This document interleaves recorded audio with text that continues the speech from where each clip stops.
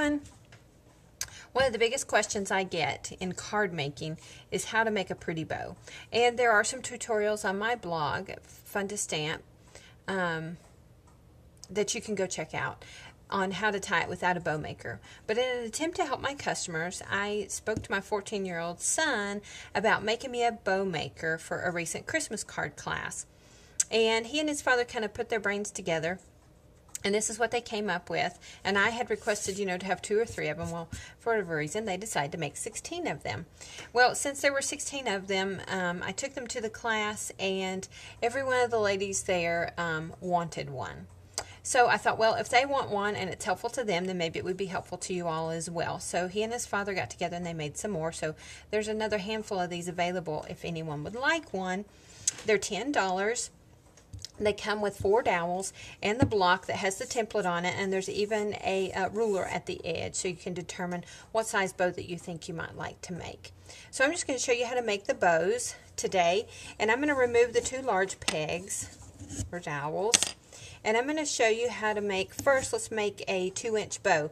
Notice the grid, there is a line here and here for our 2 inch bow. Your pegs, your dowels, are going to be snug in these holes, but that's what you want because if you don't and there's too much flex, they will bend on you and then your bow will be distorted. One loop might be bigger than the other one, that kind of thing. So I'm going to take some real red satin ribbon.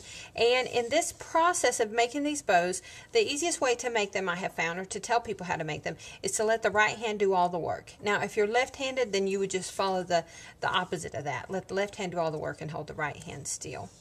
But I'm going to take, with my first peg on the left, I'm going to hold the tail of my ribbon in my hand still, and I'm going to make a figure eight. Now you can make, you can loop around like this and tie it, but I have found that the prettier bow is the one that makes a figure eight. In addition, the figure eight bow will not come untied on you later. So all I'm doing is holding it still, go in between the pegs, loop around, there's my loop. Go back around to create the second loop. So if you look at this, here's the loop on the right and the loop on the left, and these are my tails. Again, still holding the left hand still. I'll show you that one more time. In between, around, around the left. Now, the piece in your right hand goes up and under, and this is true for every bow that I'm going to make because I'm only going to show you how to make the figure eight bows just because I, I think they look better. Okay, so this piece is the piece you want to make sure is flat and is not folded in half depending on the ribbon that you're using. It might have a greater tendency to do that. So go ahead and tie this off. You do not need to tie it in a knot because again, it's not going to come in tied on you. So just tie it once. And there you have a perfect little red bow. In this case, you go ahead and trim your tails and adhere it to your card. Now this is a card I did last year that was so popular, but there's just a use for tying a single bow to put on your card, and I just used a glue dot to adhere that. Okay. This is um, 12 inches of red, so you could probably get away with about 11 or 10. You don't want to cut it too short because then it makes it hard to handle. Now the second bow that I'm going to show you how to make is a one and three quarter inch bow. And again, you would just determine the size of your bow based on your card that you want that bow, the finished product to be. And again, that's why they put the little ruler down here. So in this case, I'm going to use some vanilla seam binding, and this piece of ribbon is about 15 inches long for a one and three quarter inch double looped ribbon. Probably the easiest way to know is determine how much ribbon to use is to put your pegs at the size bow you want and leave it on the spool and tie it, and if you're doing multiple ones, just measure one and um, see where to go from there. But in this case, this is the identical process to the first one. Left hand is going to hold still and the right hand is going to do all the work. So in between my pegs and around, there's loop one, figure eight around to the left, there's two. That's how we did the red one. But in this case, because I want two loops, I'm just going to figure eight again on this side. See, I have two loops. Figure eight again on this side, two loops. Doesn't matter where these are, they can slide up or down because when we loop tie them off, they're going to all come together. Again, take the one in your right hand. It's going to go under. You can use your left hand if you need to, or um, you might even put a clothespin on there if you wanted to, if you really had a hard time holding it.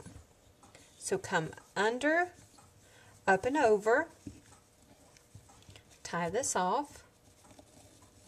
Again, no need to knot it because it's not going to come untied on you. And then pull it off. The figure eight is going to keep these little loops from going and nesting inside of each other, which I think is wonderful. You can tighten that down some more if you need to. Then use a glue dot to adhere, and here's a card with a sample of that. This is from my recent Christmas card class. Okay, so I just trimmed the tails and stuck it on with a glue dot. So pretty. This card was one of the most popular ones. This is also the one that I had the bow maker setting at out at at um, the class for everyone to use, and it just made it such a cinch to make all those bows because we're mass producing them. Now, I know that some of you are asking, well, what if I don't want to adhere my bow with a glue dot? So in this case, I'm going to show you how I would manage that. This is a piece of um, white organza ribbon, and this is about 15 inches as well. Um, you could probably get away with 12 because I'm only going to make a single looped bow. Let's make this one two inches again. This is a single loop. Okay. Now, remember, same process. Left hand still, right hand does all the work. Two loops, up and under, and over, and tie it off. Now, if you were, depending on the application of how you're going to put your, where you're going to put your bow, you can do a couple different things. Go ahead and create your bow. Leave your tails extra long is one way to do it. And then you would just wrap this around a card. Here's an example. You could do this.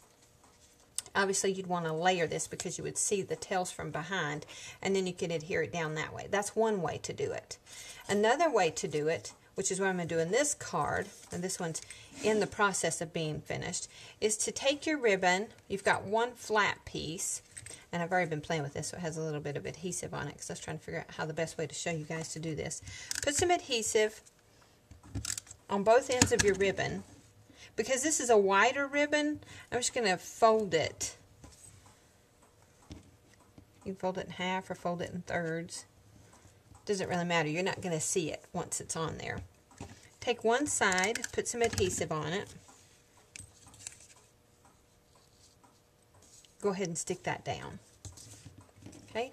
Then take the other side, and because I want this little stocking to look like it's hanging, I've just created a loop, and I um, put a dimensional underneath that stocking to keep it from moving around on me. It just makes it easier to handle. So loop that through, and then stick the other end down. And then you would just take your ribbon, your bow that you created,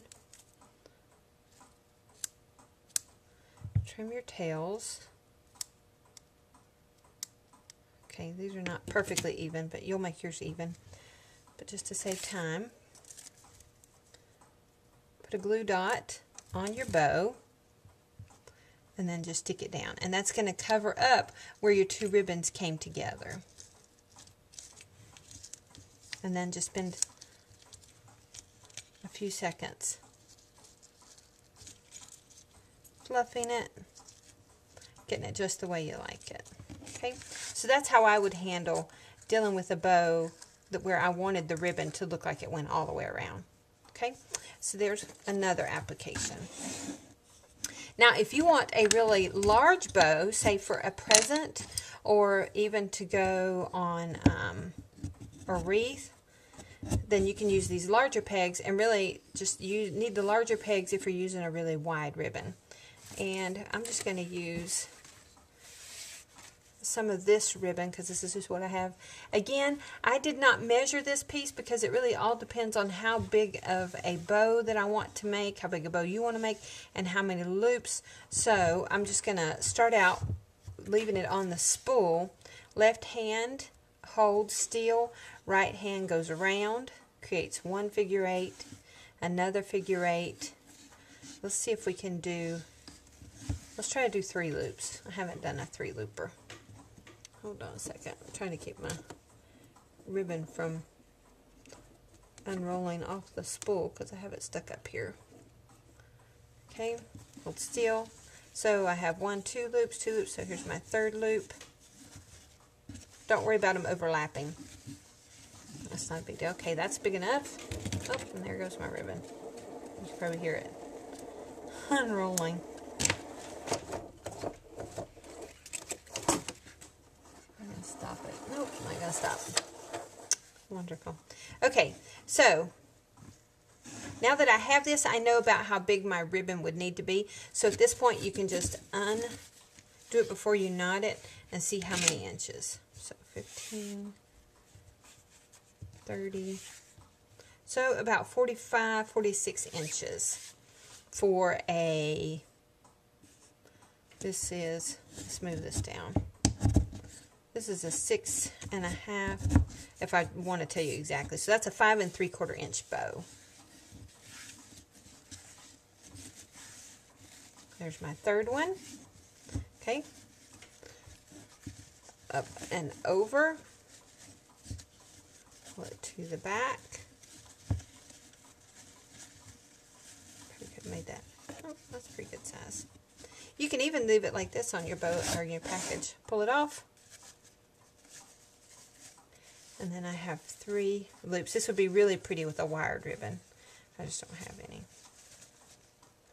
So you can turn it over if you want your tails to be on the back.